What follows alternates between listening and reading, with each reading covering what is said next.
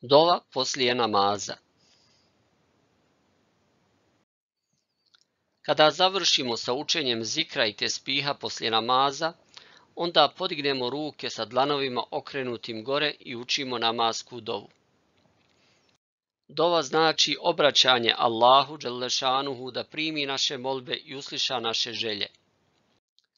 Sa namaskom dovom mi molimo Allaha Đelešanuhu da primi naš namaz i nagradi nas za njega i na ovom i na budućem svijetu. Postoje različite vrste dova za razne namaze i za razne prilike. Mi ćemo naučiti jednu kratku dovu koju možemo učiti poslije svakog namaza. Namaska dova glasi ovako. A'udhu billahi minash shaitanir rajim. Bismillahirrahmanirrahim. Elhamdulillahi rabbil alamin.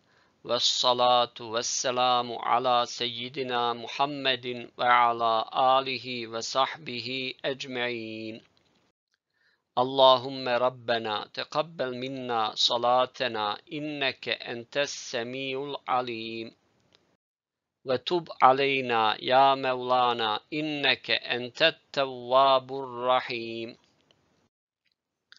اللهم حبب إلينا الإيمان والإسلام والإحسان وكره إلينا الكفر والفسوق والعصيان. اللهم ربنا آتنا في الدنيا حسنة وفي الآخرة حسنة وكنا عذاب النار. رب اجعلني مقيم الصلاة ومن ذريتي.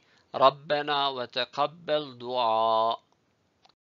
ربنا اغفر لي ولوالدي وللمؤمنين يوم يقوم الحساب. سبحان ربك رب العزة عما يصفون وسلام على المرسلين والحمد لله رب العالمين.